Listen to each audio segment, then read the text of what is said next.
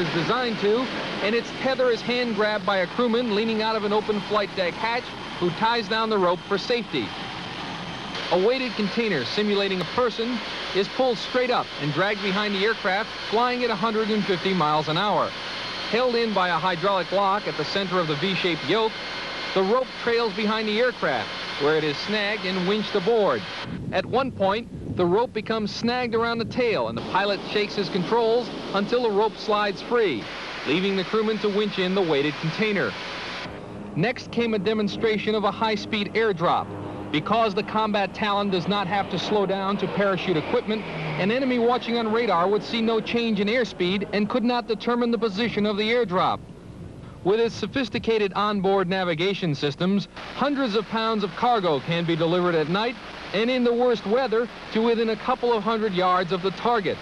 The 250 mile an hour drop speed gives enemy gunners only a fleeting target. As in Grenada, if a special operations unit gets pinned down or surrounded, this AC-130 has the sensors and guns to deliver massive firepower with surgical precision. Though the AC-130 dates back to Vietnam, it remains a very potent weapon for special operations.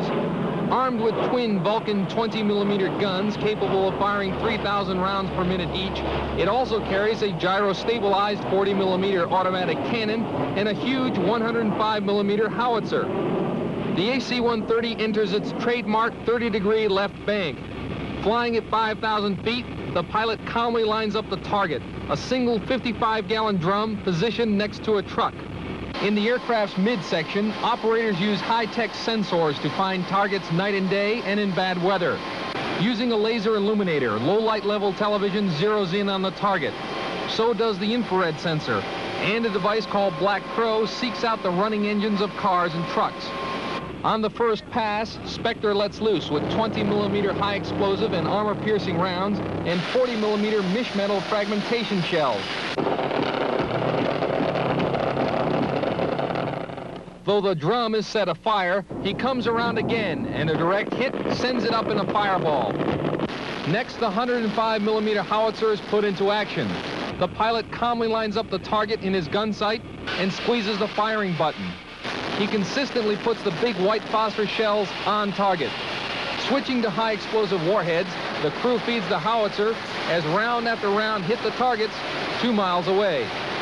Given the rising tempo of international terrorism, and the necessity for the United States to counter it by operating on the very edges of belligerent conflict, it will in all probability be the men of the 1st Special Operations Wing who will air deliver the counterpunch.